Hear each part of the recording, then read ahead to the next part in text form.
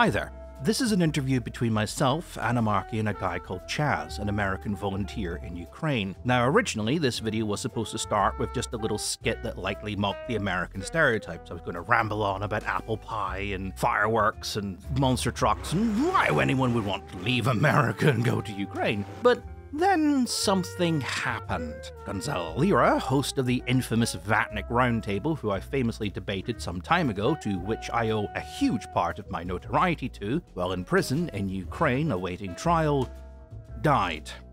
Now, I bring this up because this interview was recorded back in December when he was alive, and we do mention him. Now, naturally, because of my connections to Gonzalo Lira, people have been asking me for my opinion, and a lot of the opinions I previously given him are being misquoted or stated out of context. So I'm going to let the interview play, but if you stick around to the end, I'd like to share some thoughts with you.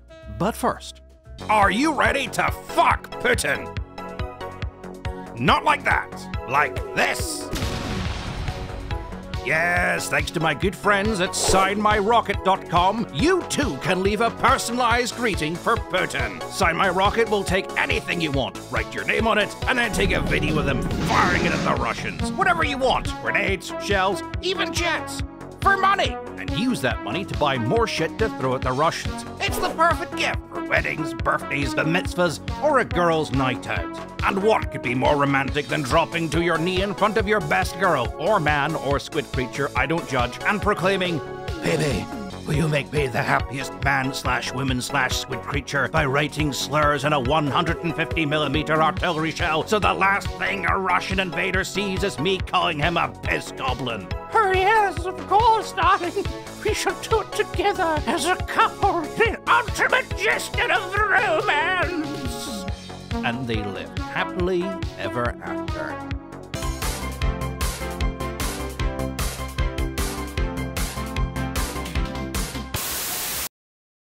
So, where where does LazerPig come from, man? I got to know. There seems like there should be a story there. Uh, what the name? Yeah, Uh, the name comes from a, a kind of weird. It's it's a kind of weird explanation as to what Russia did to America during the the Soviet Union, and then a kind of play on that. So, um, one of the things the Soviets used to love doing was like hyping up what their technology could do. It's like we've got the most um, powerful things in the universe, and they can fire lasers and shoot down satellites and go Mach nine, that kind of shit. And then you'd have all these dumbass experts on like Yeah. late night TV in America going, well, this just proves that you know Right. Russia's superior to us in every way. We can't we can't deal with it. So the, what the U.S. military would do is it would get together, spend a bajillion pound uh, dollars, and then Yeah. build a space laser. And then, and then Russia would go, oh no, we've accidentally advanced military technology by 30 years, and now we're 120 years behind everybody else. Crap. Um, okay. and that was called that was called laser bear syndrome. It was like Yeah, Russia claims it's uh, invented a laser bear. Uh, the U.S. goes, "Oh, we can't. We have no defense against laser bears. We need to build a laser bear of our own." And that comes Oh, in. Blah blah blah. Laser pig comes from that. That, that that sounds like a fever dream. Like, oh, we don't have laser bears. We got to come up with something to match it. Yeah. I love how, I love how your entire backstory for your name is Yep. literally the is literally the carbon copy story of the F-15. Yet you've not made a video about the F-15. I'm working on it. Okay, it's complicated. I have, I have documents. I have boxes full of documents that were sent to me from the Pentagon because I, I sent I, I sent a freedom of information request to the Pentagon asking about Oh. um, the fighter mafia's involvement in the F-15, Project Redbird, and everything. And I said, "What can you send me?" And they just went, "Here, have this." Boxes of documents arrived. This shit is complicated. This is one of the most complicated things I've ever looked at. This is insane. You, you're, you're doing better. Uh, you're doing better than me on my ever engaging war against the history of uh, Russian and Soviet aviation. I mean, Oh I'm, God. I'd uh, uh, like I'm trying to like I, I own both books on the Su fifty seven that exist. Oh, you- that's such Oh. a joke of an aircraft. Oh, You don't like know half of it. I, So- I I don't. Well, yeah, especially if you've yeah got two books there. I got one book which is by a photographer and an aviation enthusiast who I think is a Russian expat in the US. hmm So he's a bit more balanced. Right. But the other guy is Yefim Gordon, the official historian of the Russian Air Force. Mhm. And like it's so fun reading his books, especially on the classic Soviet aircraft. It's like, ah, yes, the MiG 15 shot down 3,000 sabers. I'm like, okay, okay. It was a completely indigenous Soviet design. There was no stealing of technology from the Germans at all. And then the Yeah. same guy it's all us, all us. the same guy who they got the design bo- documents from from Focke-Wulf, who made the TA Mhm. the TA series, Kurt Tank, this designer, he goes to Argentina for completely unrelated reasons Yeah. and works for Juan Perón, and he's like, "Okay, boys, I brought this design with me from my old days at Focke-Wulf, and I can adapt it to modern technology. Have we got an engine? Yeah, we've got the Rolls Royce Nene from the UK because Argentina was friends with Britain at the time. Mhm. Just so happens that the Brits sold that same engine to the Soviets and said, "Okay, you can only use it in airliners, right. and you're Wink, not wink, allowed to copy it." Yeah. You're not allowed to copy it. We'll be very upset. And so the Soviets immediately um, counted the rivets and, you know, made a Right. Klimov variant of the Rolls Royce Nene. So you have two air, two aircraft built around the same engine, Mhm. right? You're wrong. Yeah. And You're, the Soviets are like, you're ah, yes, wrong this is completely. In, it's like you know, completely indigenous design.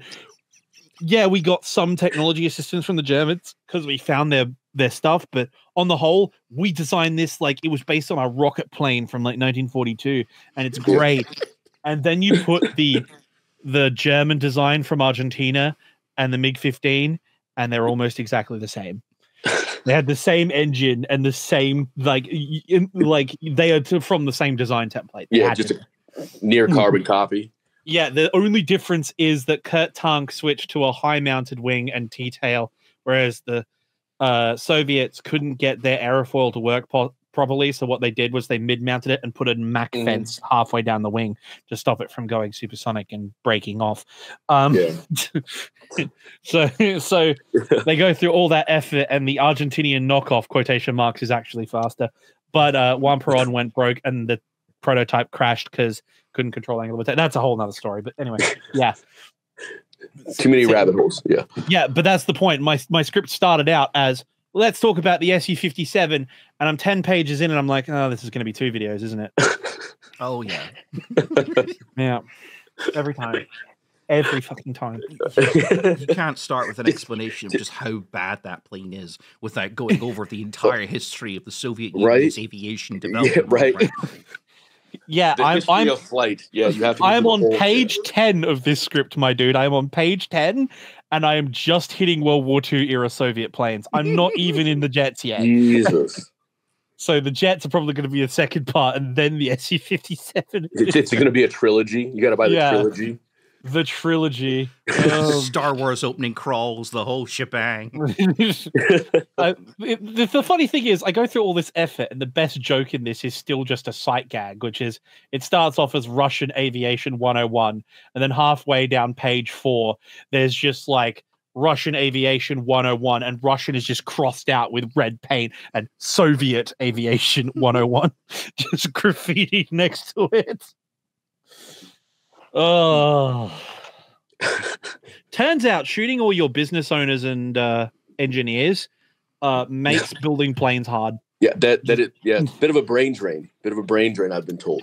Yeah. Oh no, everyone was happy. No one, no one complained, right? Absolutely not. Why would why would anyone leave Russia? Yeah, right. You can have an Yeah. indoor toilet in Russia if you live in Moscow. Yeah, yeah. yeah. All twelve hours of it summer is just beautiful. You know. The You roads know, in Russia work perfectly. yeah, yeah, right. But it, yeah, it's a nice cold. It's a fun cold. No, no. Um, No. the- it's it's just one of those things. As I said, when at the start of this whole fracas, it started in well, the original one in 2014, but the big invasion started in February. I'm like, guys, guys, this is it's the Rasputitsa. It's it's when the mud melts. Yeah. It's the only reason you survived the Yeah. last big war. Why are Yeah. you what what are you Dude, doing? that I can't. I'm so glad. Like I had have this conversation all the time. It's like it fucked Napoleon up. uh, Sorry, screwed Napoleon up, screwed that Nazis up, and now you're literally going in February. Like how's just the dumbest thing I've ever seen in my life. It's like Are you already recording, believe- Pig, I'm, by the I'm way? recording this. This is all going in. Okay. This Sorry, I, didn't, I, I don't. Yeah, I didn't. I didn't know the rules on the. We're just- so we're I just gonna- Uh we we can bleep. We can bleep. It's all up to That's you fine. 24 actually. What do you think, Eugene? Is he allowed to say naughty words? It's it's totally up to you guys. Yeah, I've, I uh, like the vibe. I, oh, I, I know. I know Ginny and them have let it sneak in a few times, so I don't know. I Uh, think it'll be you all know right. what? You've been in the Ukrainian army, so you've probably picked up Yeah. a few Ukrainian swear words. Okay, Oh, so, yeah. so let's think about this. We have a drunk Scotsman, an Australian who shouldn't be awake in this hour, and a salty veteran who's just come back from a war zone. Like, if we if we are still monetized, if we're still monetized, I think we failed. Quite frankly, quite, to be honest, at this point we failed because we're just lying. we actually are propaganda because it's like it's got to be propaganda. There's not be, nearly gotta enough, not Gotta nearly enough abuse being hurled. It's clearly propaganda, but we're just not being paid for it. Yeah. Right, We get Eugene? from the ad, we're getting ready. We're getting from the ad revenue, which we won't get. Which we won't get. we can't. We can't fucking There you go. nothing. At least you're getting something from the activities. oh man, I've started like showing up in like different live chats on different things, and it's always like, you know, you'll find one of the Vatnik bots out there, Yeah. and they'll, and they'll see me and be like, "Hey, Anarchy, how's that propaganda grind going?" I, I I joined a freaking gaming stream last night, and one of those Vatniks. Are you just had serious? Yeah, they're everywhere, and I'm just like, I mean, It's- I've it's heard of like the Russian version of Karens. yeah, that reminds like, me of. You know, I've heard of multi-spectrum warfare, but this is just ridiculous. It, sho- it shows where Russia's got its priorities right now. You know? right? oh, Tanks are falling Oh. apart. Most men are going out there into the, the mud and the cold without proper equipment. Half of them don't have boots. Some of them only got like one or two clips in their gun. They don't even have any heavy equipment left anymore. Yeah. But we need more bots to Bots, annoy gamers and annoying people on the internet. yeah. Actually, Right. you've you've probably seen that. You've probably seen that. They've um like the Kremlin has actually authorized, and I'm I'm not even hy- using hyperbole here. Uh, they've started creating fake NAFO fella accounts Yes. with Yeah. explicitly like Ukrainian nationalist and sort of you Mhm. know question spicy pinwheel symbols as I call them, like all over the place. And like pinwheel. yes, yeah, and they're like, and then you look at their accounts; they were all created like a week ago. Oh, And then yeah. you look at what they're posting, and they're like, "Ah, yes, I'm out here to go murder children. I am so happy." I'm just, you, you're gonna put some more effort in for it. Like, like, y- yeah. Who? What? What? What worries me more is that there's actually people going to be out there and look at that and go, "Yeah, that's exactly what a human being was right." Uh, yeah, I'm, I'm just here to kill the kids. I'm here for that and that only. Like, uh, every every now and then you get other gems. Like uh, I saw, I I don't know. I think it was one of the uh, Ukrainian units posted this footage they had. They dubbed it with the soundtrack from Guardians of the Galaxy, which I thought was pretty funny. There's drones flying on recon patrol, and they just find this one Russian mobik. He doesn't have a rifle. He's just got his backpack on, and he's walking home. Yeah. he's He's just He's leaving. just fucking booking it. That dude is walking a thousand kilometers straight to Russia. No fucks given. He's gone. He is Huckleberry and Finn on a fucking adventure The right drone Russia. stops and just looks at him, and he looks at the drone. And he like waves, and he's doesn't like, even care. he, ju- he waves at the drone. He's like, he waves at the drone and gestures like, "I'm going home," and just like leaves. It- it- and, it- and it's the way he waves at it too. He waves at it like a little kid, like it was his dad flying the drone. You know, and they're on their first camping trip together. Say hi, dad. it's like, "Hi guys," Yeah. it's like, but man, uh, pff, dude, like, if only they would all do that. oh yeah, right. And then you got Shoigu's Yeah. like Storm Z propaganda coming. Oh, look at this, we're gonna be. We've got Storm Z. We're gonna win. It's, Man. Yeah. God. Should Anyway, we should probably we should probably do what we're, ask a what we're here question, right? Yeah, we should. Yeah, right. Oh, I Let's- thought this let's- was the whole show. I thought it was us Yeah. just having a weird conversation. I No, I it's was technically an for it. interview. We have Oh, questions. Oh, we- we got questions for you, man. Hang on, let me turn on the light there so I get the interrogation feel. There we Take it away, Mister Scottish interview man. We have questions for you. you put We ask the questions. All right. okay, Okay. let- You know take- what? start, start, start. Let- Let's start casual. Tell us a little All bit about yourself. Tell us about like your life in America, what you did like like pre-Ukraine war and everything. Okay, yeah. Um, so obviously, you know, Chaz Gluff's my name. Um, I'm from Kansas in the U.S. Um, I was six years U.S. Navy from 03 to 09, so I've been out a while.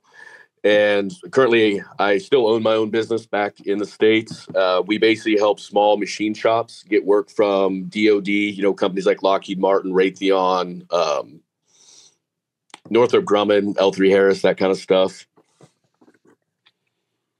Wow. Yeah. Uh, yeah. That's a that's that's a pretty decent gig. Question: Yeah, yeah. 0309 in the Navy. What were you doing?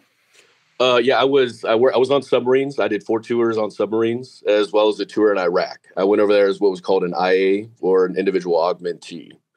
And so essentially, what we did is at the time, um, army troop or yeah, army soldiers were doing like 15 month rotations in country, and what they did is they asked some of the other services like the Navy. It's like, hey, would you volunteer to do a six month stint um, in place of some of these, you know, 11 some of these infantrymen. Um, so that way they can kind of get their time reduced uh, in country down to maybe nine months or 10 months.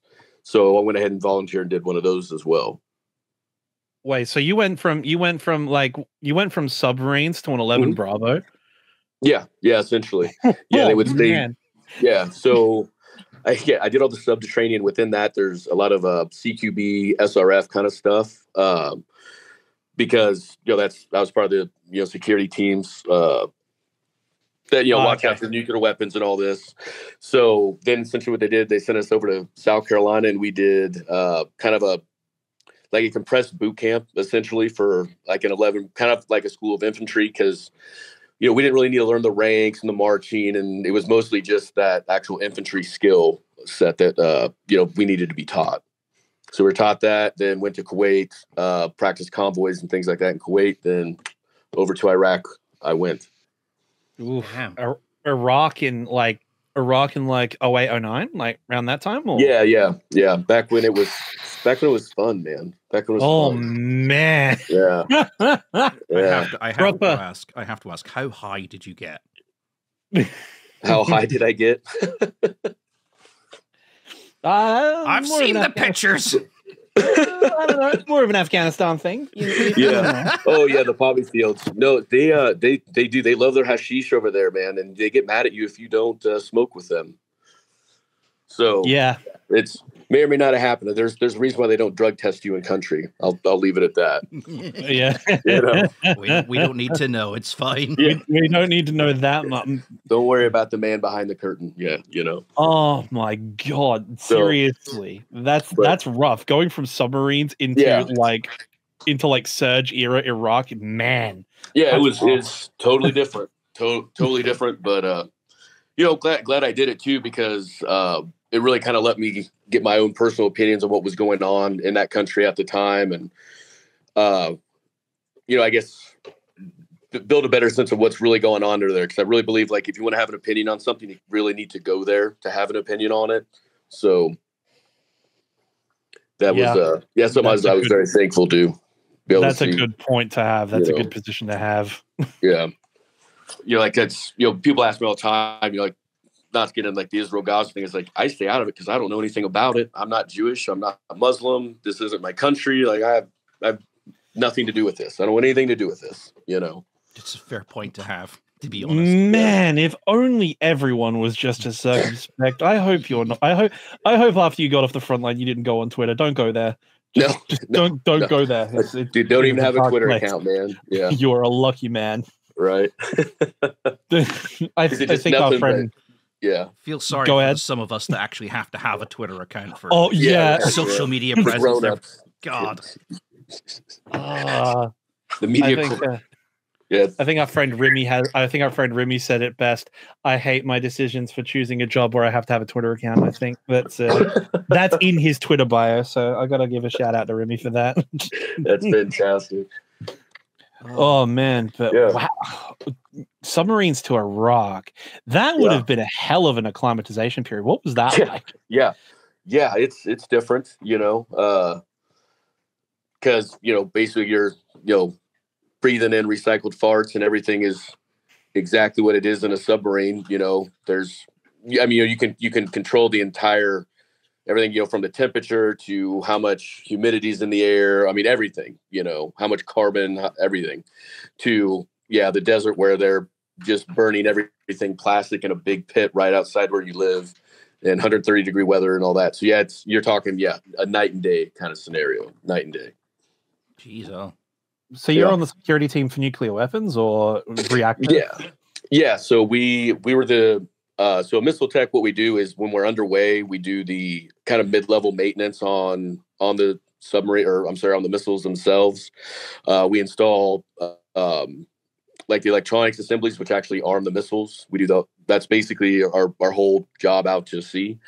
But then when we come into um, come into port, you know, to kind of get refit and all that stuff, uh, security becomes really the high priority because that's when you're most likely to have someone try to attack the submarine, take it over, uh, you know, some kind of a terrorist act, you know, pick any one of like a million scenarios that could possibly happen.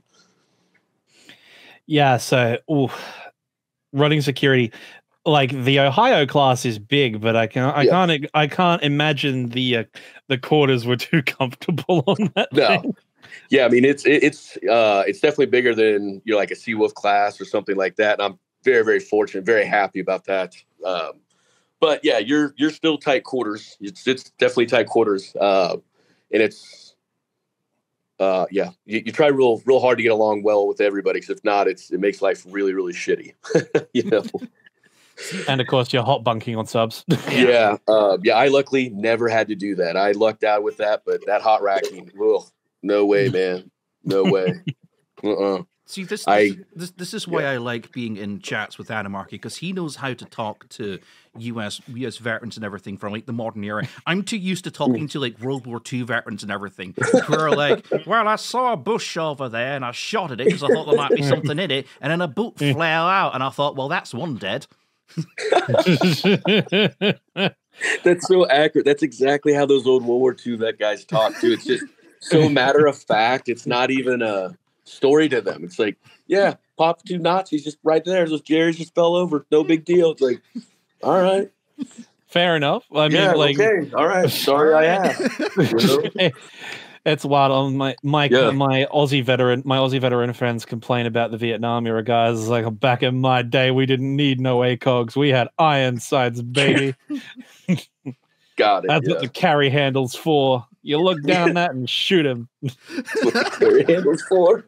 Yeah, it's what's, what's the sights mounted. That's actually Yeah, a good no, question. it's Did- just were you rocking uh, the A2s or did you get M4s by that stage?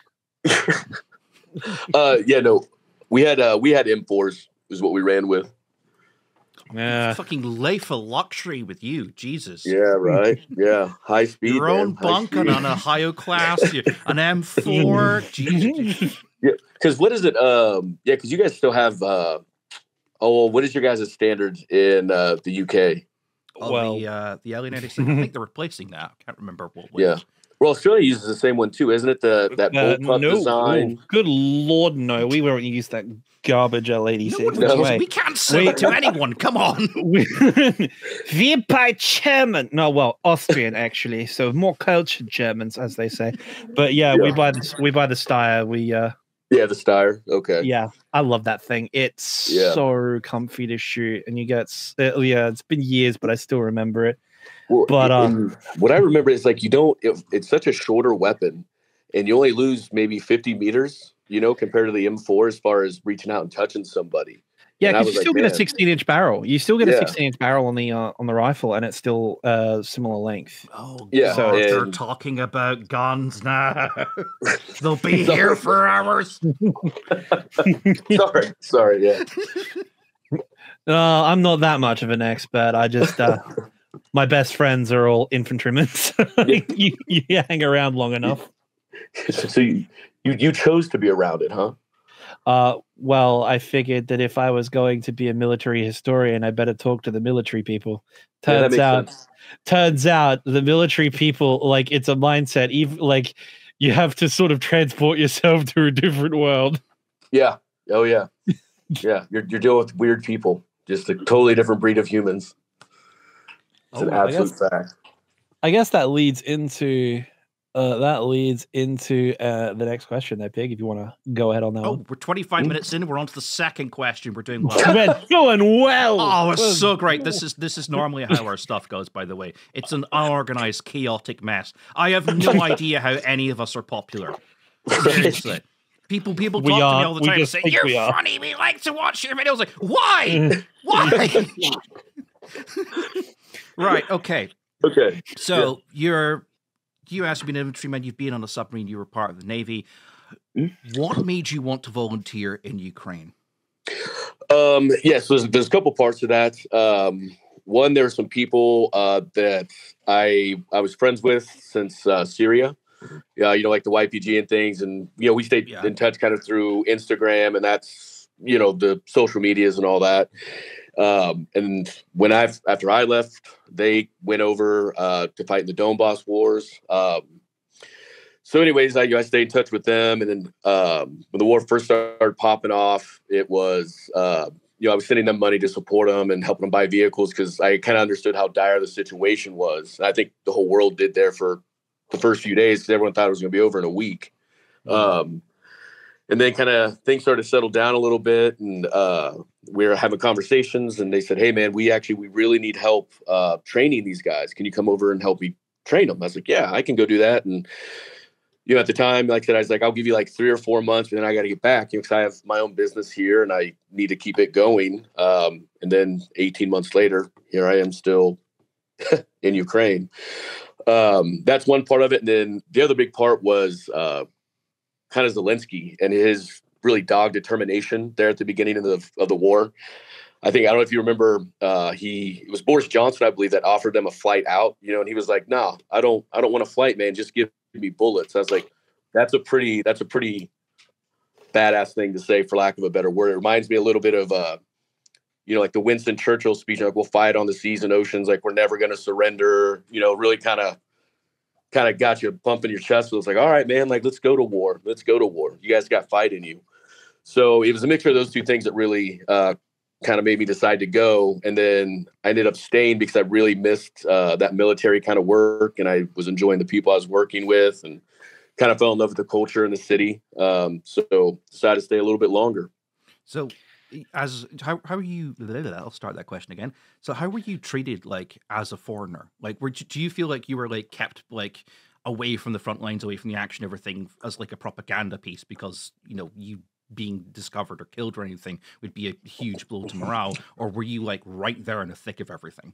No, so I all right, I have not been treated in a negative way in terms of being uh treated like a foreigner. You know, it's I you know, there's there's no stigma behind that when I'm saying it. It's um I've been treated very well and I've been very much accommodated for a foreigner because you know I don't speak the language and they always try to make sure that there's a couple guys that are with me that have some English and can help me out and um, so the being a foreigner thing, uh, the accommodation by the Ukrainian people has been just phenomenal. Not just from the military, just every person is just always there to try to help. It's super awesome.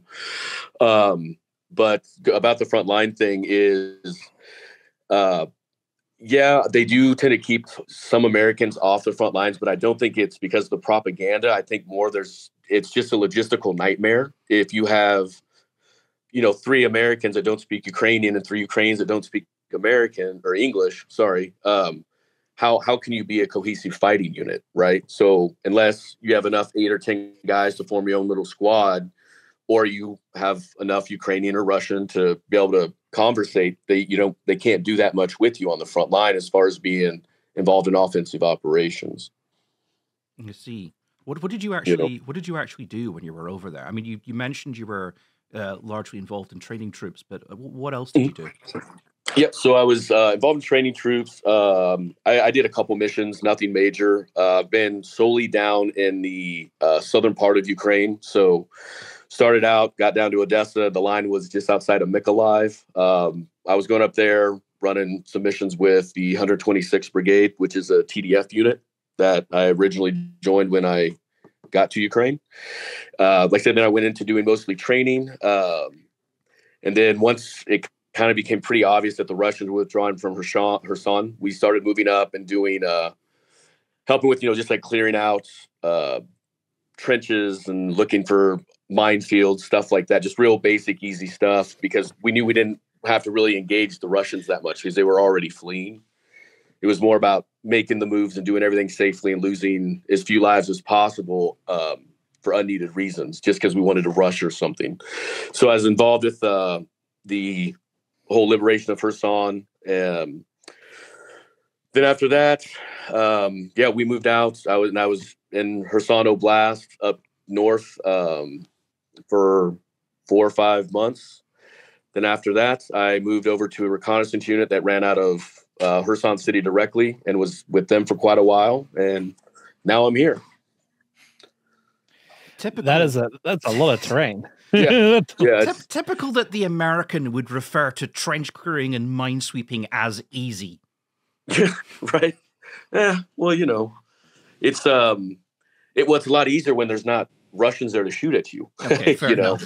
Yeah, I- you I know, mean- it, yeah, it's yeah. These are trenches that had already been abandoned, and we're looking more for the the IEDs, the booby traps, um, trying to see what intel left behind, uh, marking UXOs, that kind of stuff. You know, stuff that so that way we can start bringing more people forward and not worry about guys just randomly getting blown up because they you know no one checked to see if there was a bomb behind that door or an IED behind that door.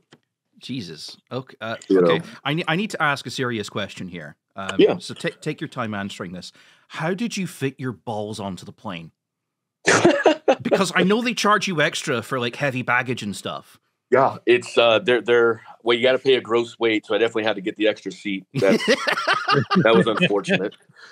That was unfortunate. So it was quite an expensive flight, but no. I wanted to I wanted to put an addendum onto that. You mentioned the YPG. That's not Mhm. usually mentioned by someone Mhm. unless th- that's very that's very much a if you know you know sort of thing.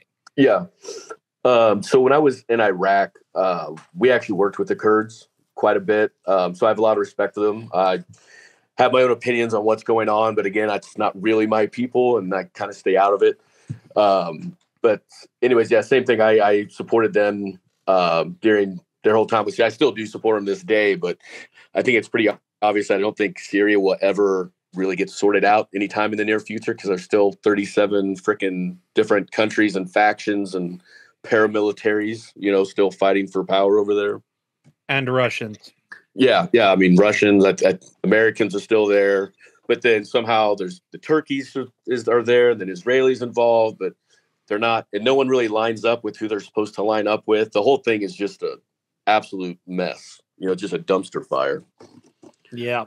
I, just. I just wanted to I just wanted to check that Yeah. like Yeah, I, I, I, I, I'm very familiar with a lot of people uh, affiliated with the YPG. okay. Um, uh, yeah, that's all I'm going to say on that. Actually, Yeah, yeah. Just Um, yeah, leave leave it with that with those guys because it's whole, there's- yeah, you Um, know, uh, more about more about the Australian government actually. uh, bandages, yes, bandages, yes. I, I, I, bandages. I, I contributed funds for bandages. Let's. Just, uh, yeah. okay, all right, gotcha. Yeah, are they about five, five, six millimeter in length? Uh, yeah. th- uh, funnily enough, they are very, very adaptive uh.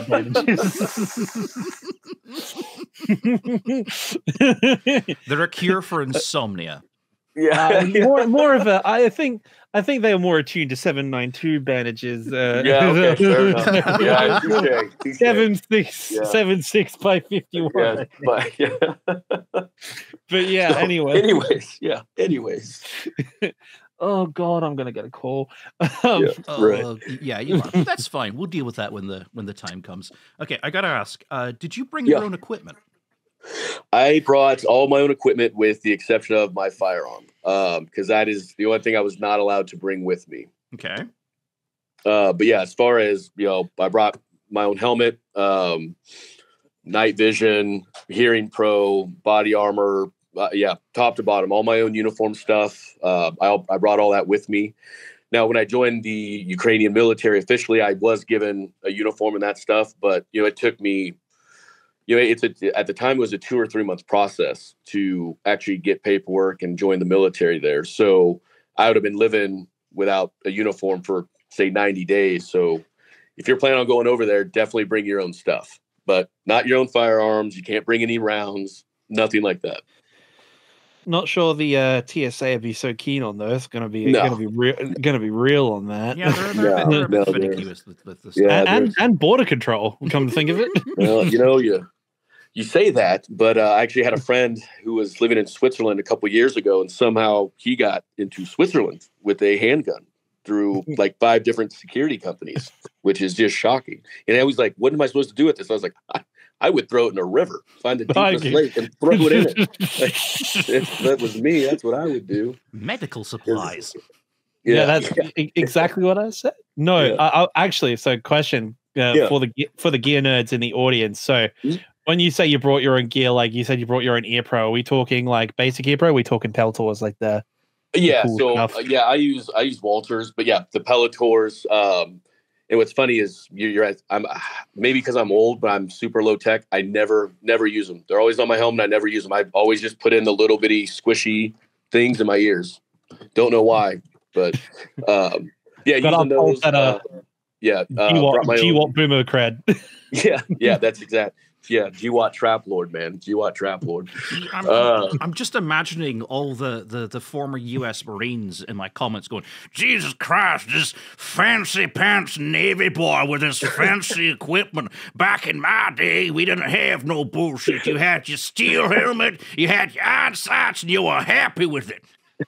You brought your own nods too. That's that's that's kind Yeah. of impressive. I'm not gonna I'm not gonna lie. Yeah, well, so th- that's the thing is you got to be real careful because there's only certain ones you can bring, and if not, you're breaking like all kinds of ITAR laws and like Interpol things. So be careful with that one. Be careful with that one. Uh, but yeah, same thing. Um, brought my own my own rig, brought my own plates. Um, because I have you know, I have the kind of high speed, real lightweight ceramic ones. Um, so it's all my uniform, battle belts, uh, all my own pouches, helmets.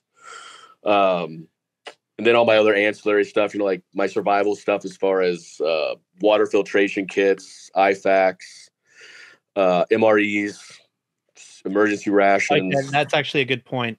Best Yeah. MRE. Best MRE. Everyone's answer is different. Best MRE. Go. Uh, are you going like by what country? Uh, no, just buy buy from the US menu because Ooh. Mm. Banana pudding.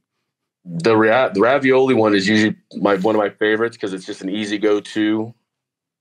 And then, yeah, and then there was a uh, what was no, it wasn't beef stroganoff. What was it? that wouldn't happen to be menu item 16 uh Southwest beef by any chance, would it? I think that is exactly what it is. Yeah, my boy. Yeah, My like boy. Yeah, My boy, he knows. He knows. yeah. That's the that's the good shit right there. That's the good shit right there. It's uh, yeah. I don't remember the numbers, man. I never. Uh, yeah. Then it's ha- jalapeno, jalapeno cheddar, as we say it. Oh, dude, The jalapeno cheddar. jalapeno cheese spread is the shit. It is. It's the absolute best, man. It's uh, awesome. yeah. It's it's just horrible for you. Just Oh, yeah. absolutely horrible. Y- y- but- you don't shit for a week, but No, no, you don't. Yeah. See, I don't- uh, I don't know much about the American MREs. I only know about Yeah. the British ones. I only know that it comes with a little bottle of Tabasco sauce. And if you want Yeah. to, if you want to speak to any veteran of the British Army, you bring with you a giant tub of Tabasco sauce and you put it on the table and you say, "You can have that," and they'll tell you anything you want to hear. You know, something that still just amazes me about the British military is the fact that you guys have tea makers in your frickin' tanks. Yes. Like, it is amazing. boiling vessel standard issue Mark II. I think they're on now because the original one was in the back of the old uh, what was Centurion? I think it was. They they they've gotten better. yeah. The days. Centurions had them. Yeah. Yeah, it's Yeah. because, because half the MREs are boiled in the bag. So just throw them in the Yeah. vessel. and Yeah. you got yourself a nice cooked meal. Plus, when you're out on when you're out on campaign, you're in Iraq and Afghanistan. the- They don't. The, the foreigners just cannot do good tea. So you need to bring your own. Yeah, right. We have it's, it's not our thing. It's dirt water. You know. Uh, I don't know if you've ever seen Ted Lasso, but there's a scene where he drinks coffee, and that's about every Oh, American dude. reaction to Yeah, British Ted coffee. Lasso was Dirt, amazing. Yeah. Nope. I taste just like I thought it would, just like dirt. Yep, that's dirt, right. dirt, dirt and water. Yeah. And water. Yep. yeah. that's about right. Um, so, So, Absolutely anyways, amazing. yeah. so um, you didn't obviously you couldn't bring your own firearm. Uh, what kind of firearms did you? Um, I'm I'm towing a line here because we're about to start discussing guns again. But what Yeah. guns did you? What kind of firearms did you use? Were you Um, yeah. So there was just a I have a basic standard issue AK seventy four. You know, stamped rifle. from the what five- era? Um, it was oh, it's Soviet era. I think it was, it was 1981 or 1982 was the stamp on it. Okay, so not that bad So- actually. Yeah, it's Uh. it was newer. It's newer than most. Newer than most. Um, but then like the the team that I was with, Mick Alive, we had we got. I mean, we got everything we wanted. We had you know PKM, RPK, uh, AKSs. We had mounds to go set. You know the Soviet version of the claymores. Um, we had some RPGs. We had uh, AT4s because I actually knew how to use an AT4. Um, and I'm trying to think. That's pretty much, yeah, that's pretty much what we had. And then we had like two of us had Makarovs. We had pistolas. Uh, you know, then just offensive, defensive grenades.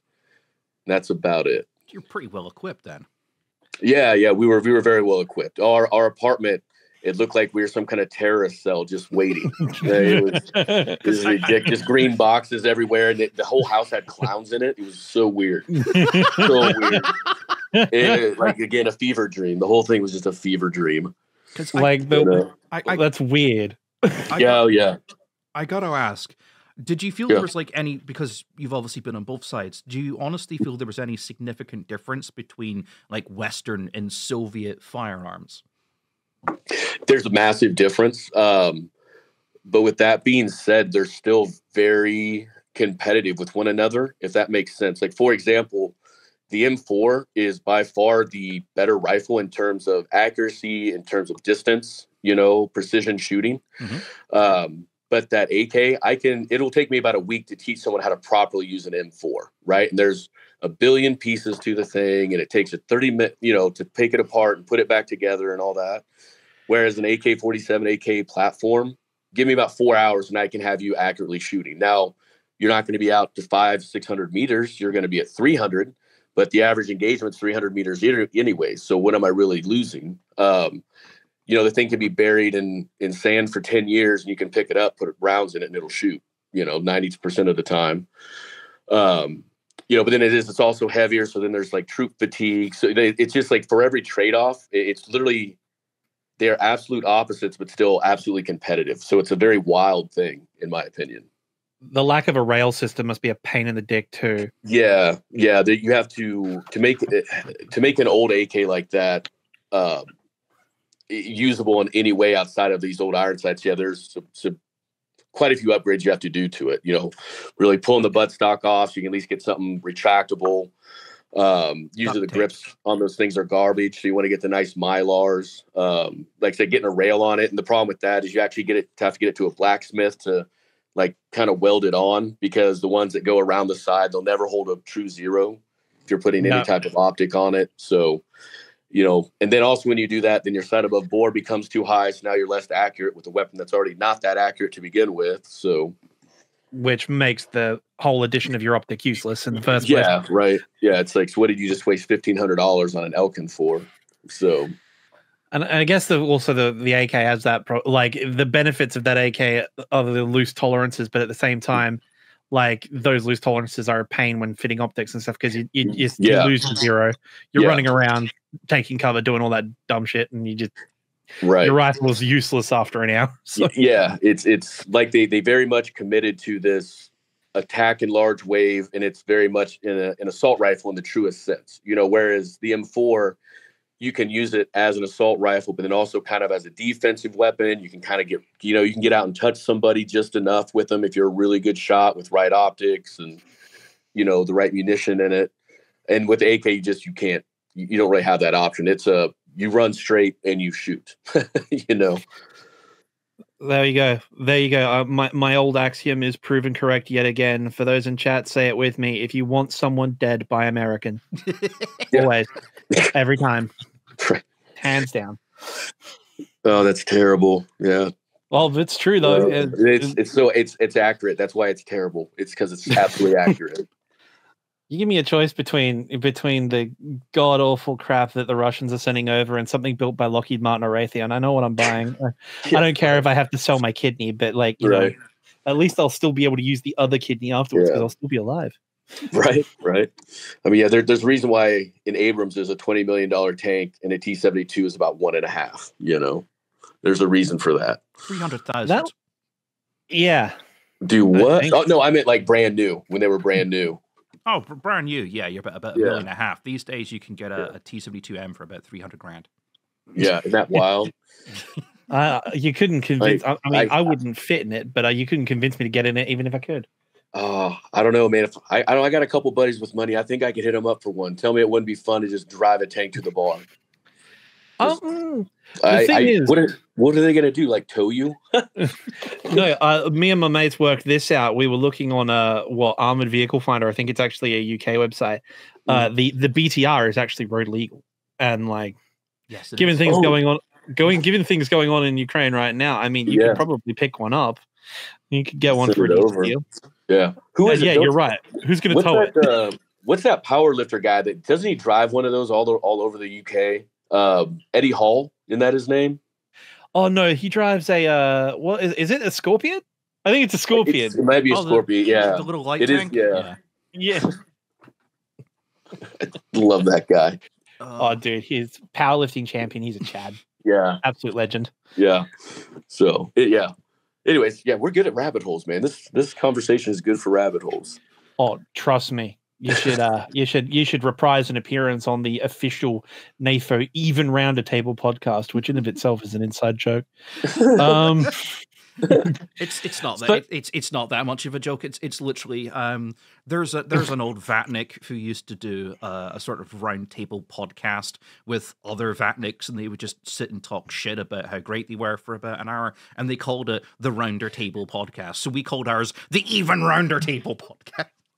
But he's been arrested. He's in prison now, so fuck. him. yeah, he's the SBU got him. Yeah.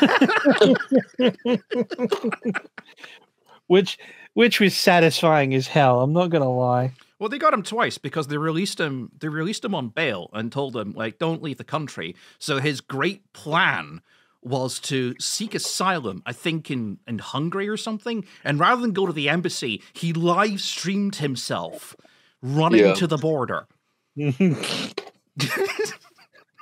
and it was just picked up by the border guards. It's like, what are you doing? right? Massive brain. so I've actually got one of the questions here I wanted to ask you. Yeah. What was your first what were your first days like when you rocked up to Ukraine? Like what were your first days like? Because Uh, That would've been yeah, hectic. So, um, all right. So I I want to clarify this question. Was it like literally the first few days I got to Ukraine because I was actually stuck in Lviv for the first few days, or like the first time I actually got to like Odessa and, and into my unit and stuff like that. well we'll go with the spicy answer. What was it like when you first got to your unit and started doing things? Okay. Um, man, that is a good question. Um, it was Without getting yourself not thrown in prison. all right so it was not at all what i was ready for um i was expecting everything to be completely soviet you know eastern bloc concrete houses nobody smiles everyone hates americans you know what i mean like just that very iconic ex-soviet bloc country um and then i got there and i was like wow most people have a, a decent understanding of of English or enough where you can communicate with them. You know, um, everyone's super nice. Uh, there's actually beautiful buildings. You know, like Odessa is a beautiful city. If you ever get a chance to go, I would highly recommend it. Uh, preferably after the war's over. You know, um, but yeah, and, like I came in just expecting like we're gonna, I'm gonna be eating you know rice and MREs and uh, infrastructure is gonna be down you know what I mean? Like no cars are on the road. Everyone's living in their basements under candlelight. It was like, no, people just kind of said, to hell with the Russians, dude. We're just we're gonna keep living our lives. You're not gonna uh, make us live in fear every day. You know, like I'm still gonna take my kids to school and and I'm still gonna go to my job and I'm still gonna go out to eat. I'm gonna go to the grocery store. I'm gonna do those things just to defy what the Russians were trying to do to the Ukrainian people. You know, which was scare. I mean, it's still what they do to this day with those missile attacks. So, yeah, it really showed me the resilience of Ukrainian people, and that was really my, yeah, the big like I said, it was just completely opposite of what I thought I was going to be going into. That leads into the next question. Where's the Yeah. best place to eat in Odessa? Oh man, um, Odessa's got some great food, dude. Um, what depends what you're eating. All right, so there's a there's a huge actually uh, Vietnamese population uh, in Odessa because I guess during the Vietnam War, a lot of the refugees were sent to the Odessa region from Vietnam that would have been on the Soviet side. So like good pho, um, all that kind of stuff.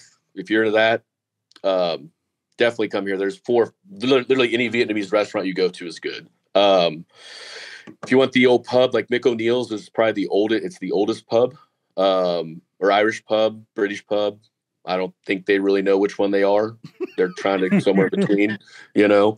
Uh, but it's the oldest. They got really good beer there, um, and they're one of the few places I can watch my Formula One. So I get real excited. Oh, he's an about that. F1 guy, legend. Yeah, love F one. Yeah, that's um, why he's back in America.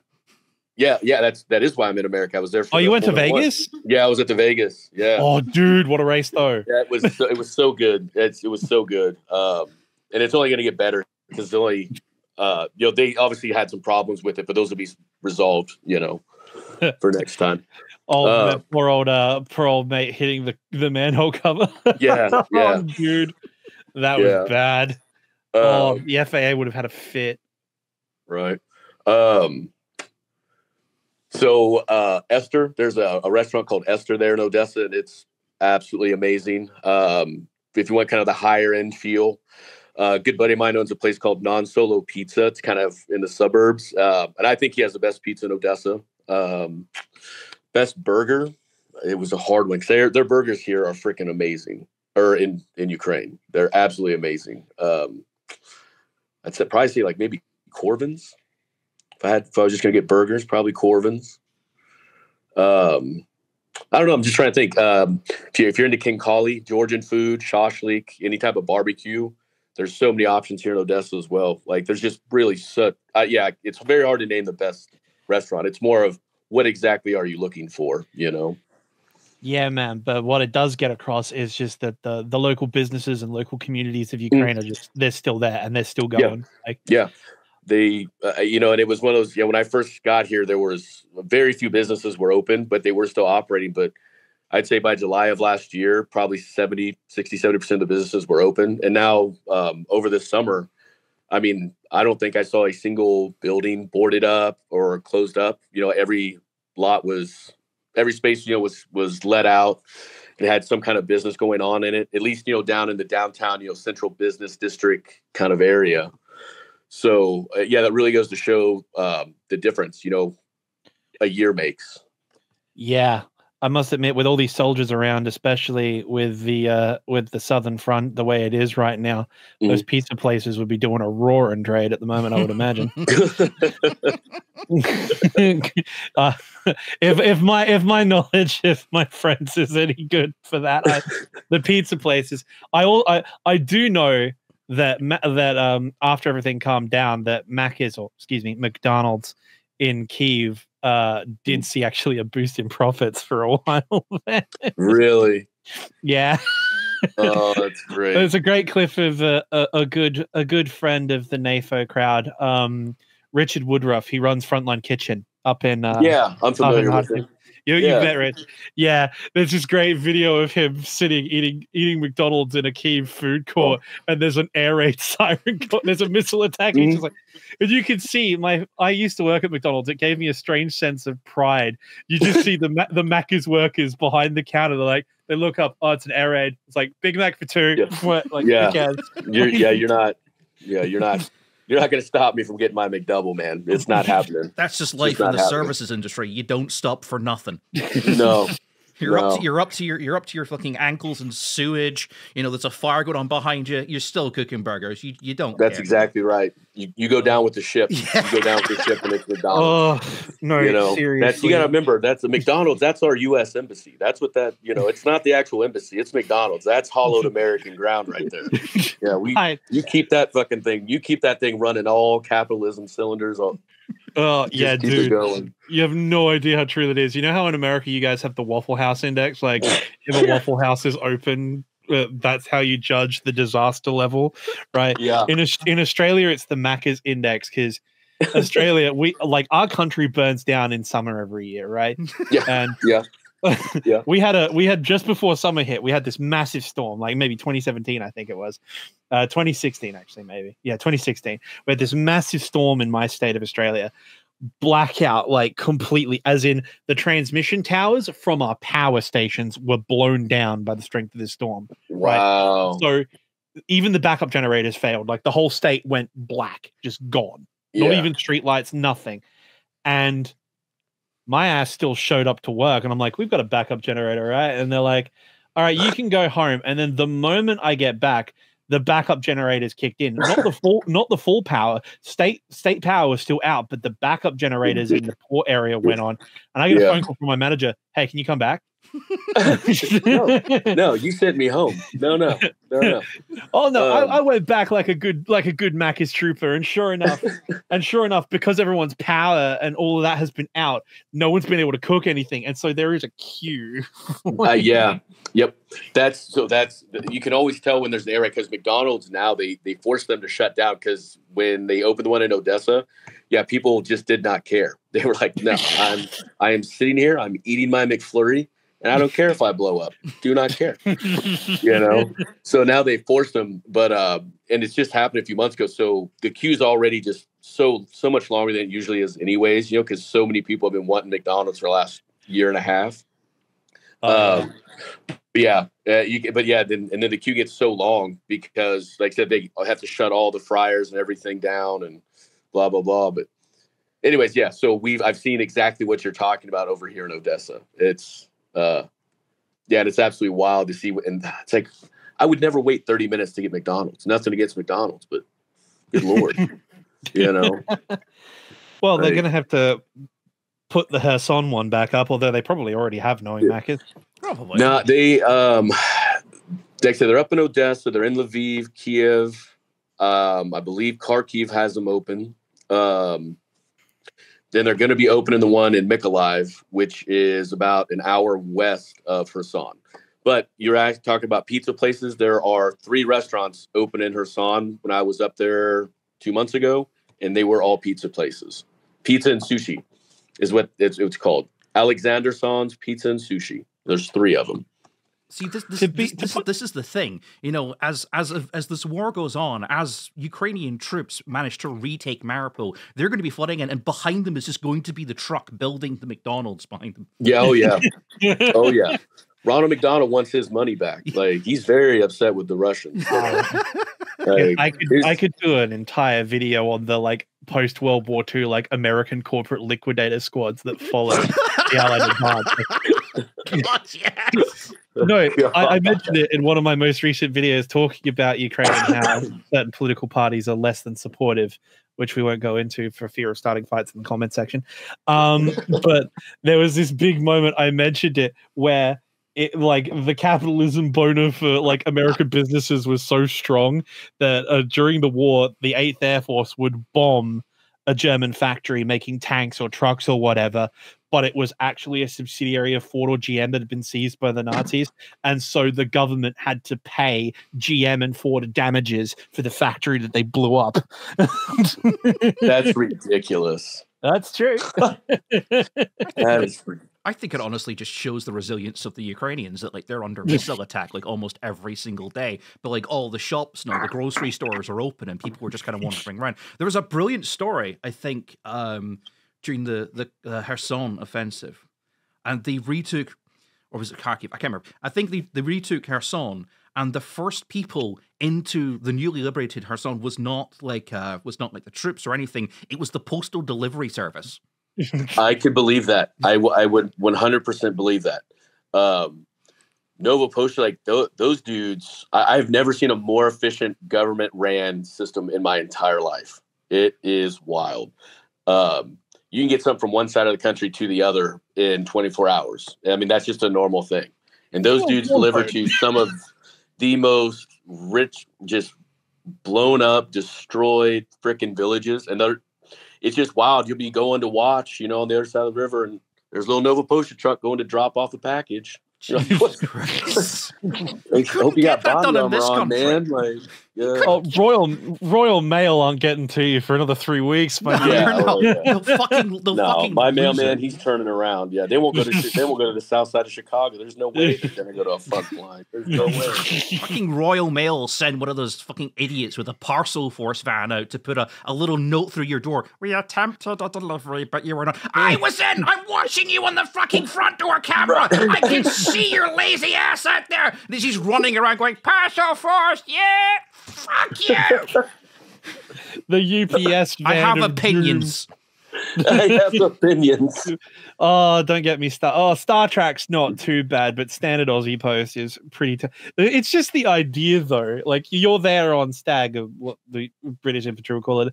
You're out there holding your patrol post, and they, and you just see this truck. Like, you know, there's landmines. There's Yeah, there's like they're going. Lancet drones patrolling, and he's just Yeah. They, they, that Nova Poshta guy, man, he's riding there. Tank, tank, BTR, Nova Poshta, tank, tank, BTR. He- he's he's about it, man. He's he's a he's a hitter. He's they're ready to go, dude. he's down to clown. Yeah, they are they are tip of the spear. It's wild. I've never seen anything like it. Oh, Never. So yeah. Maybe that's what that. Maybe that's that's the that's the spearhead for the next counteroffensive. That's what's retaking That's Crimea. Nova a fleet Poshta of Nova vans. Poshta trucks. Yeah. Little hensus, just do, do, do, do, do, do. the amphibious operation is Yeah. like you know speedboats with the logo on the side. Yeah. I mean, God, this Yeah. like same day delivery over landmines, and that's wild. Yeah, I mean, they, yeah, like I ship something from Odessa up to Kherson pretty regularly, and it's, I said it's there. If I ship it at noon, it's there by noon the next day, and it's a. There's only one Nova Poshta that's really working there in Kherson, like a big major hub you can send big stuff to, um, and it gets bombed pretty regularly, and they just they just keep going. They don't care. They're just it's. It blows my mind that they continue to work as many times. Like, well, we'll just rebuild the building we'll just keep going. It's like, all right, cool. That's It's nuts. Nuts. What Yeah. question are we on, Uh, Pig? have no incidentally, idea. How how long have we have we got you for? Because it's been about an hour now. Yeah, I, I I probably need to wrap it up for the next ten minutes or so. All right. Okay. in which case we got we got uh we got one here. The the the last one on the list you sent me, Pig. What about that one? All right. Okay. So, in your opinion, what would, uh, in your opinion, what would be the best weapons or equipment that we could give to Ukraine? And to follow up, what in your what in your opinion is the best way for your country, the United States, or like any other country in the West, to help support Ukraine? Yeah. Um. All right. So when you're saying my country, uh, you're I'm assuming we're talking about as a government, not as like an individual person working with humanitarian groups, right? Either are. Okay. Um. All right. So this is a multi-part question. Sorry. Let's go back to the first one. Okay. So, in your in your opinion, what is the best weapons or equipment that we can that we can give to help Ukraine? Are we talking like trucks, Um, gloves, earmuffs, tents, uh, to firearms? You know, whatever. Yeah. Um, right now, plain and simple. So the humanitarian groups uh, and small collectives that raise money for troops have done a really good job about getting them the cold weather gear, the boots, the tents, that kind of stuff.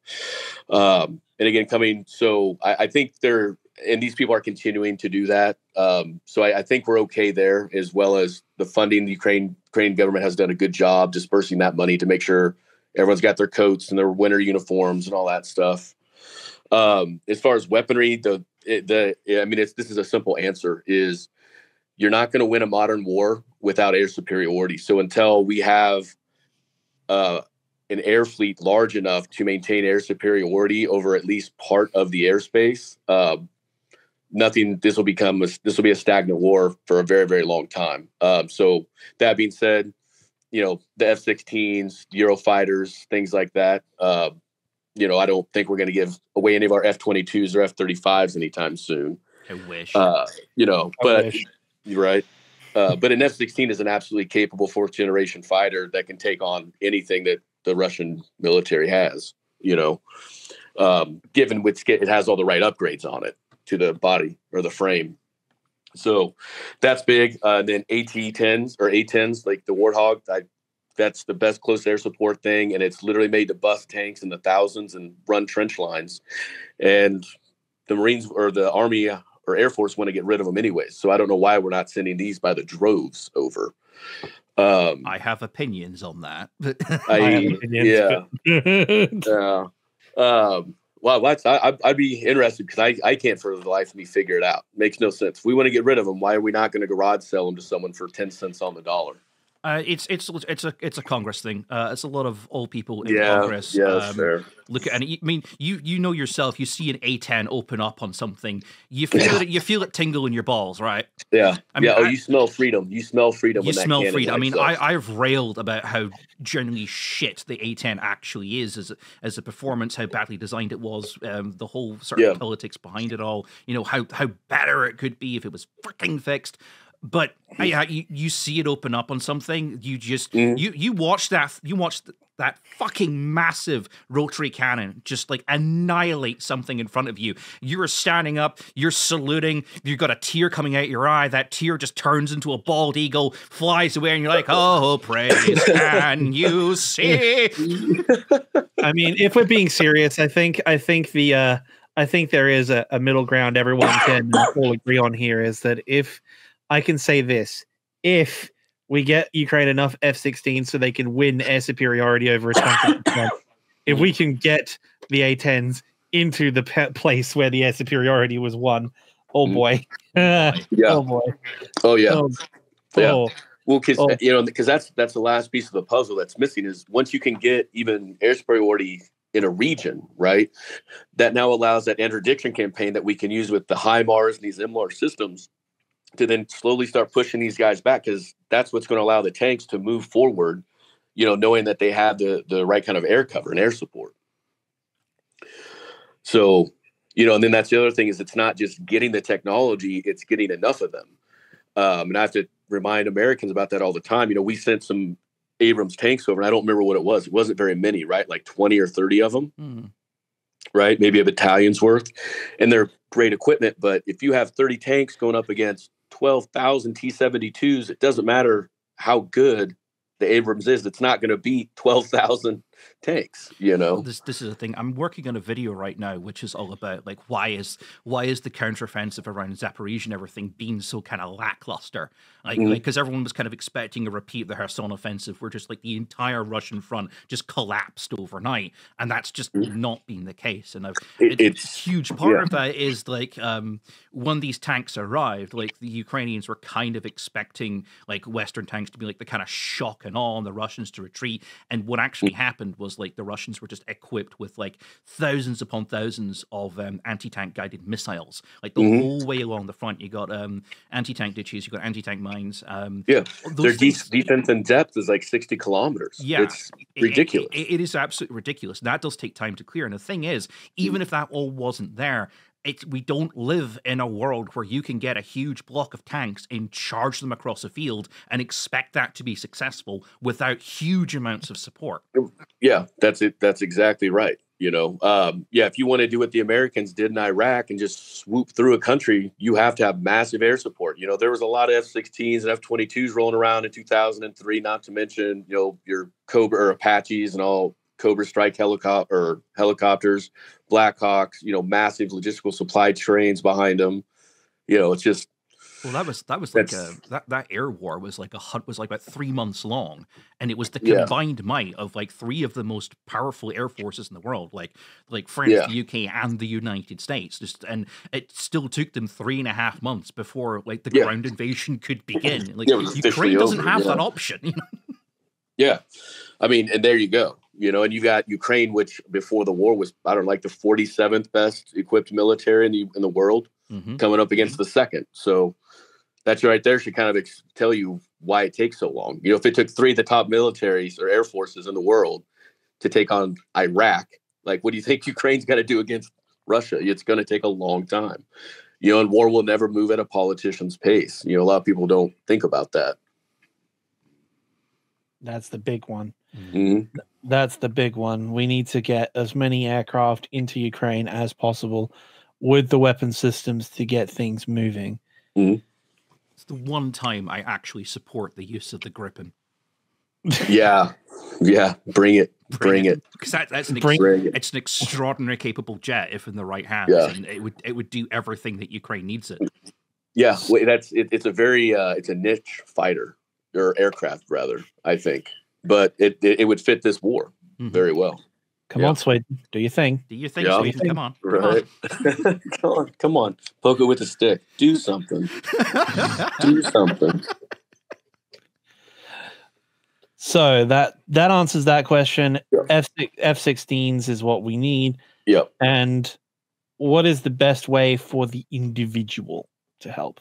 Yeah, for the, the individual is you know it's uh, the Ukrainian government's been working on this, and I think that there's a few other groups you can get on Google and find it, um, where they have compiled all the different humanitarian groups that are working, um, you know, in Ukraine right now, and take the time to go through there and understand what these groups do and figure out what it is you really want to support. You know, like do you want to support saving dogs from the front line who's they've lost their families or getting kids clothes or old ladies, you know, medical equipment or whatever it is, or getting troops IFAKs, all that. Find it, do and do research on it and understand what it is they do and how they do it because there's a lot of people working here. Um, and don't and they're with with a lot of with a lot of companies like that, there are um there's always one or two bad guys. So make sure you don't get scammed. Sorry, that's I do want to put that out there. You know, take your time, do your research because there are always always scammers out there. Um, but yeah, do uh, anyways, yeah, do your research and definitely find the places that are supporting the cause that you want. So that way, you as the person sending the money gets the gratitude, the, you know, that self gratitude or self satisfaction that that you deserve if you're going to support, uh, you know, people in a time of need like this. Okay. Yeah. That's a good message. I Yeah. mean, I personally want to give a shout out to I want to give a shout out to Frontline Kitchen, my boy Yeah. Richard. I want to give a shout out to him. Frontline Kitchen are a good charity to donate to. They work very hard feeding the boys. Um, Mhm. They also organize other stuff like you know equipment and so forth. So Yeah. give up boy Um, Richard. Yeah, he's a good he's a good place He's to a, start. he's a Yeah. good bean, yeah. Yeah, um, yeah, I would say, yeah, there's uh, probably the group that I've worked with the most. It's called Quartermaster for Ukraine, and it's a Swedish company. Uh, and I think they've actually they work with NAFO a little bit as well.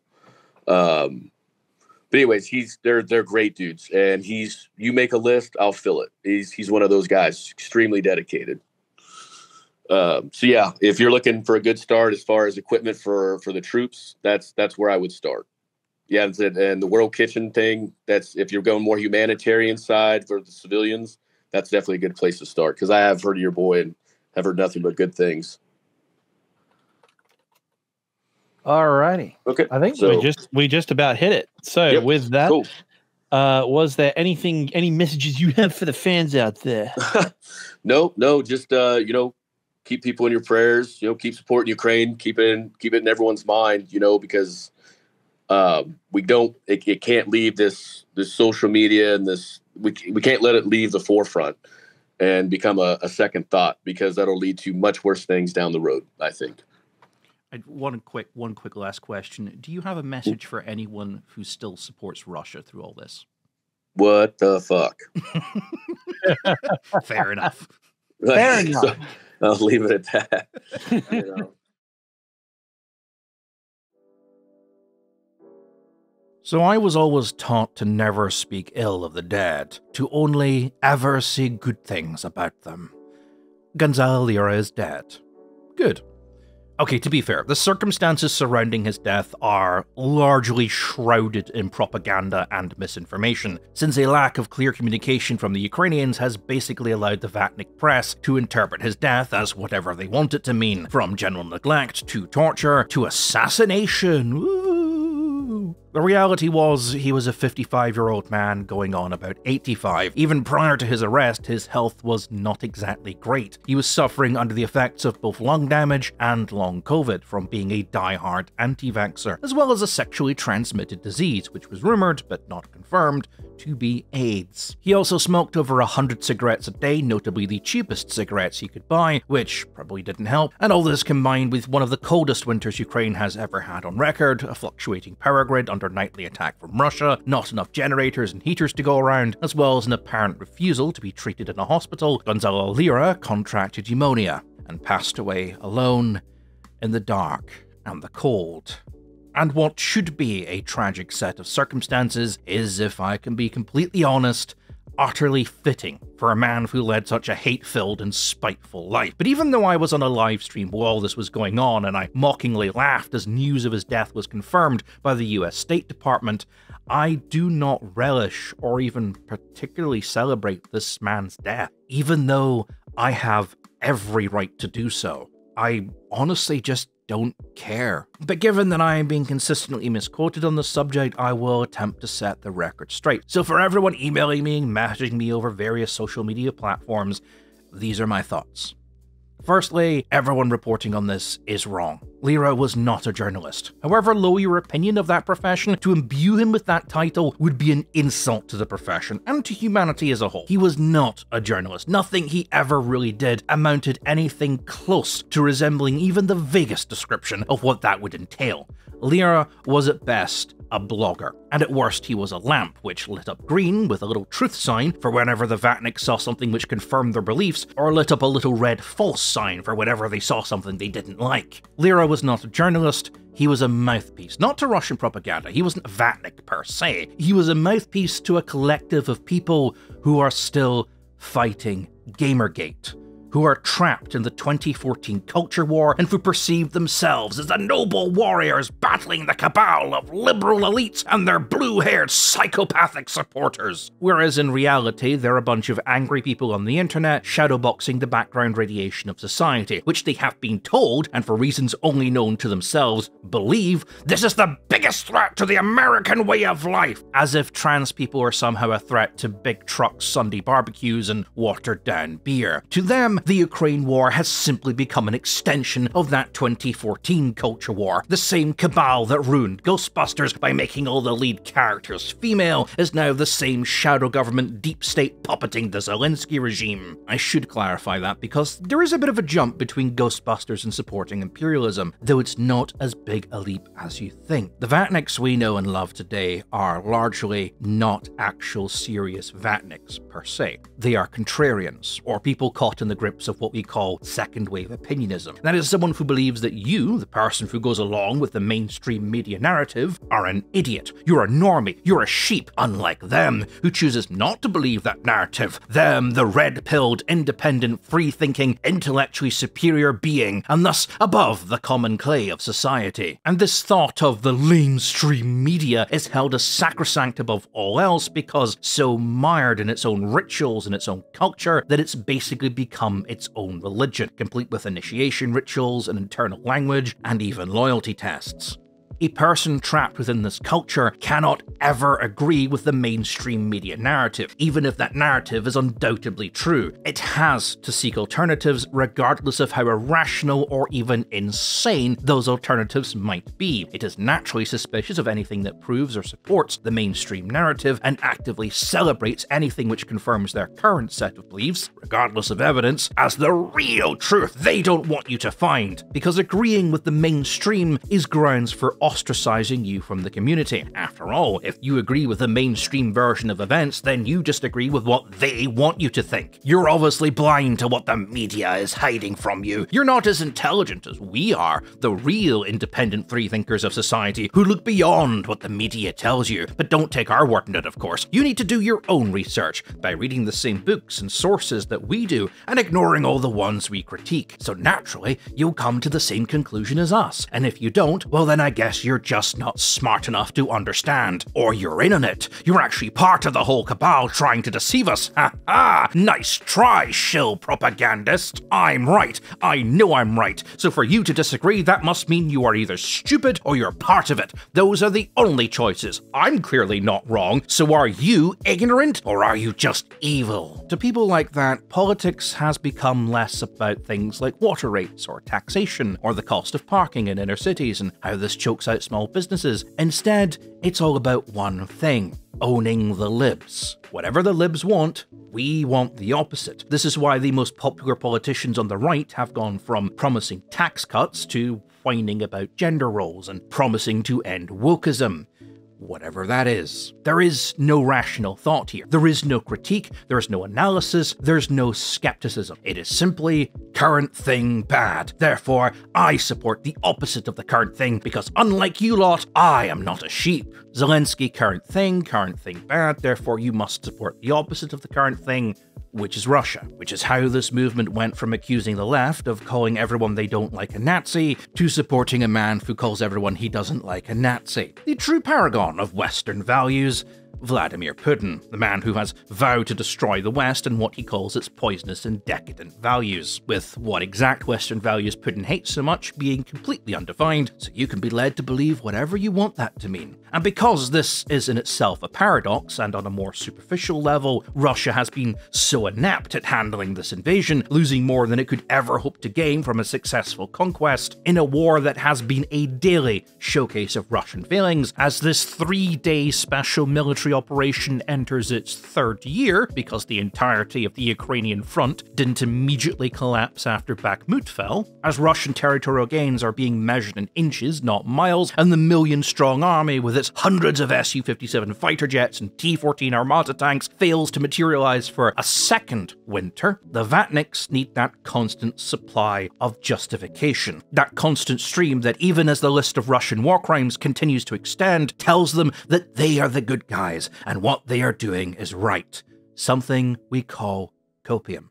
Copium is basically a justification high. It's a perfect cocktail of Russian propaganda, misinformation, willful ignorance, strawman arguments, and reheated conspiracy theories left over from the 90s that present enough of a consistent fog that the consumer never needs to deal with the fact that their beliefs are consistently disproven by reality, because the second it does, they've already moved on to the next great argument and have forgotten what you just said. Because that fog, that minutia, that copium comes in such massive quantities so quickly and is stated with such confidence that through sheer volume alone, it becomes persuasive. It's nonsensical and almost comedic to an outside observer, but because there is so much of it, that to the believer, to the contrarian, the sheer volume alone becomes evidence of the fact by itself.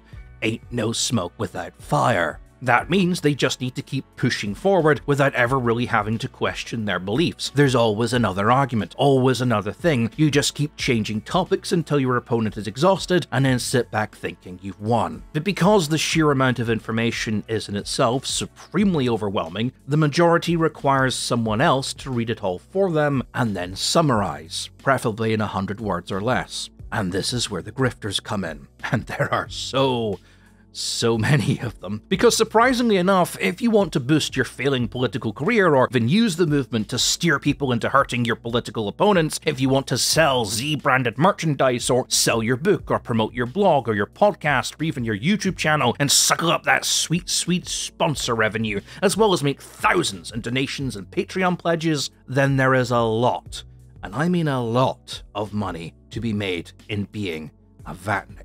Lira wasn't a journalist. He was a grifter, pure and simple. His motivations to remain in the game were never political or ideological.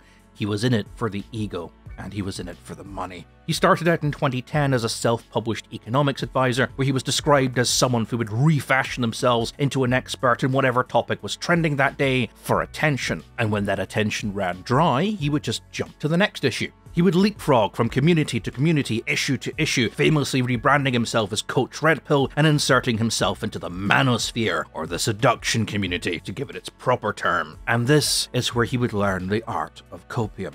The seduction community is a hotbed for con artists to scam desperately lonely men with self published books, games, and even courses, all on how to seduce women. Of course, very few of those tips and tricks actually work because, well, women are also human with fickle and complicated minds and not a puzzle box in which the magic set of words unlocks the pussy. And what works for a six foot tall, dark skinned man in his early 20s with chiseled features, abs, and a Porsche might not exactly work for a guy 200 pounds overweight with acne scars. So, like all good scams, an excuse has to be made to show that neither you or the scammer are at fault. Clearly, it's the women. They're not sleeping with you, not because they can do better and the tricks that you're employing just make you come over as weird and creepy. It's because women are shallow and vain and too stupid to see the true alpha male breeder that you are. And this is the scam to offer hope for sale to the desperate and to offer excuses as to why it isn't working by directing their target's anger at others, and then sell you more courses, more advice, and more whatever later on down the line. All of which constantly reinforces that sweet, sweet nectar that everyone wants so much in life that every failing in your life is someone else's fault. It's not your fault you can't get laid, women are just vain. It's not your fault you didn't get into university, they just give priority space to black people. It's not your fault you didn't get that good job, the company had to give it to the diversity hire. It's not your fault Trump didn't win, it's the liberal elite cabal. It's not the fault of Russia that they are losing this war. None of the predictions we made were false or bad. None of the analysis we gave was wrong or inaccurate because it was based on factually dubious Russian propaganda. It's because NATO are throwing everything at Russia, and Russia is holding back, waiting for the perfect moment when NATO finally exhaust themselves to strike. It could win tomorrow. It will win tomorrow. Just keep watching, keep subscribing, keep listening, keep sharing our tweets, keep giving us attention, and keep believing.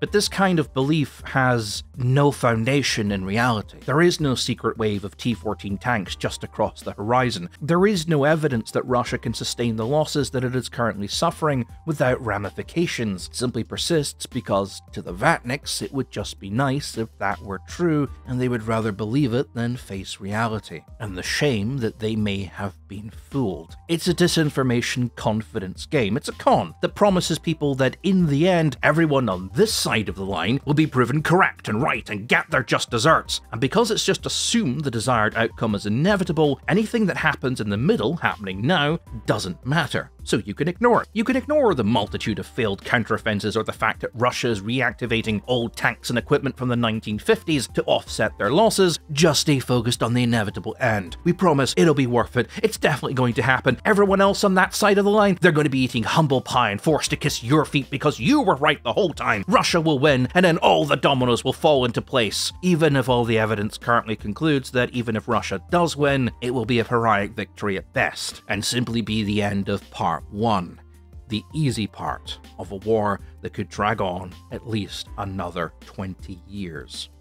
This kind of contradictory, utterly delusional style of thought, all wrapped up in newspeak, works because it's easier for everyone trapped in the net of this con game to just keep rolling the dice than it is to ever admit that they have been fooled. Because, well, that's just embarrassing, and facing the embarrassment of being wrong and the ridicule that comes from it is truly a difficult thing to face. One of the hardest, most grown up, and quite possibly most mature things you can ever do in your life is admitting when you're wrong knowing when it's time to back off, to apologize, and when to just walk away from the table. And some people will just never mature to that level, so they just keep rolling the dice, they keep playing the game in the hope that one day they will be proven right all along and never have to face that shame. Lira was an artist of that game. The vast majority of the pro Russian crowd are. They sell copium, so the Vatniks never have to fear shame. The difference being that Lira was, and there's no real easy way of getting around this, unbelievably stupid. He played the game, but he was not good at it. He was far too volatile, far too unpleasant. He was incredibly uncharismatic. He would argue with his own supporters continuously. He was an awful debater, worse than me, and that is saying something. And as time went on, his rants became increasingly incoherent. He also began to believe his own bullshit to the point where it blinded him to things like common sense or his own well being. And for that struggle, for that fight that he went through, he was rewarded with a cold and lonely death. Because to the other grifters running this con, he was only ever a tool to amplify themselves. Someone you could bring onto your podcast, or fill a guest slot, or use his audience to boost your own, or push your little failing political career. But when the ship sinks, the rats will be the first to flee. Donbass Devushka, a Russian girl live reporting on Ukrainian war crimes from the Donbass, who later turned out to be Sarah Bils, a 30 year old American born fish tank salesman living in Washington state who had never been to Ukraine and was quite literally just making shit up to promote her Z branded merchandise store as well as donation campaigns, with no evidence of any of the money ever being handed over to any of the units or charities she claimed to support, was arrested and questioned by the FBI for her part in the intelligence leak. Allegedly, in order to save herself a lengthy prison time, she supposedly began leaking information about the other Vatniks in the inner circles that she operated in, including giving up the location of one Gonzalo Lira. He was arrested a few days later. Briefly on this, I know he was arrested living in Ukraine, and people have just assumed he was there the whole time. Okay, so the story I was told was when he was arrested the first time for selling pictures and locations of Ukrainian defensive positions to someone online, he gave up the names of the people people he was working with in exchange for a lesser sentence, which led to the arrest of supposedly five Russian spies, or more likely fifth columnists. He was then given two options, but one was be deported, or the other, be placed under house arrest and await trial. He chose house arrest, but became so paranoid that Russian assassins were out to get him as revenge for giving up those names that he changed his mind and asked to be deported. He was escorted by local police who bought him lunch to the train station and presumably left the country. I always assumed this to be true because when I was debating him and he claimed to be living in Kharkiv, there was actually a power cut when he was live, and well, he didn't suddenly get cut off. I mean, even if his building had its own generator, where was he getting the internet from? If he later returned to Ukraine or just pretended to leave is unknown to me. He had multiple homes in Ukraine and could have been using any one of them, so may not have experienced that exact power cut and may have just told me he was living in Kharkiv out of paranoia that I might just be able to guess his address. But anyway, there were calls for Lira's release when he was arrested a second and then later third time, but that was all largely contained on Twitter and only ever used as a means of throwing shade at President Biden. There were no real attempts to campaign for his release, and in prison, Lira received no visitors, no phone calls, no letters of support, no care packages, or financial aid to hire a lawyer. He even had to pay his own bail. I was actually in the early stages of talks with the Ukrainian Justice Department into getting an interview with Lira, and as far as I've been told, I was the only person to make an inquiry as to his health and his well being. And when he was released and made his mad dash across the country seeking asylum in Hungary, live streaming it the whole way, he did so on a bicycle. No one came to pick him up or help smuggle him out of the country, something that many of the Vatniks with their connections could have easily done. In fact, shortly after the buzz about his arrest died down, the other grifters began to turn on him. Former UN weapons inspector, twice convicted paedophile, and 100% non biased news reporter, and definitely not fifth columnist himself, Scott Ritter, seen here delivering a speech to Russian troops earlier this year, called him out as a double agent, claiming he had been spying for the Ukrainians the whole time. In death, his name name has been on everyone's lips once again. The crocodile tears have come rolling, but again, it's all a performance, all a pantomime. His death is used to push whatever narrative the grifters want to sell you, and when the buzz dies down, he will be promptly forgotten. His life and death will only ever be used to promote the Zelensky bad narrative. You'll never hear people talking about his hobbies, his favorite brand of coffee, or what he was like as an actual person, because all of those things are unimportant. They cannot be used to push the narrative. No one even knows what those things are because no one cared about Gonzalo Lira. And in death, he has simply become part of the fog of copium that surrounds the Vatniks. He was used for clout and promptly discarded when he was squeezed dry. And when the narrative changes, when Ukraine is no longer a hot button topic and the contrarians all move on, Lira will be forgotten. And for a man who wished me a painful death, that's all I can really say about him. I'm not going to pretend that I respect the man now that he's dead. But I will say this Gonzalo Lira had three homes in Ukraine, none of which were seized by the government. He had ample funds available to him. He had a monthly income which at one point was more than I had in savings. He was in a comfortable position. Ukraine has other priorities right now. It has an overbloated justice system which is underfunded and more focused on corruption issues. It would have taken years before Lira saw a trial date. They released him on bail because they just didn't consider him a threat. They even returned his phone. All he had to do was sit on his ass in his house, doing whatever he wanted. Or if he really felt threatened, walk into the Hungarian embassy and just ask for asylum. But that would mean being quiet and behaving. And he wanted attention. He wanted to be in prison. He reveled at the idea of being in prison because that made the narrative all about him being this lone soldier fighting corruption on the front lines, trying to get the truth out to the masses while being hunted and suppressed each step of the way for daring to question the Zelensky regime, rather than him just being a sex tourist who was quite frankly out of his depth. Ukraine did not kill Gonzalo Lira. Lira's own stupidity, his own ego, is what killed him.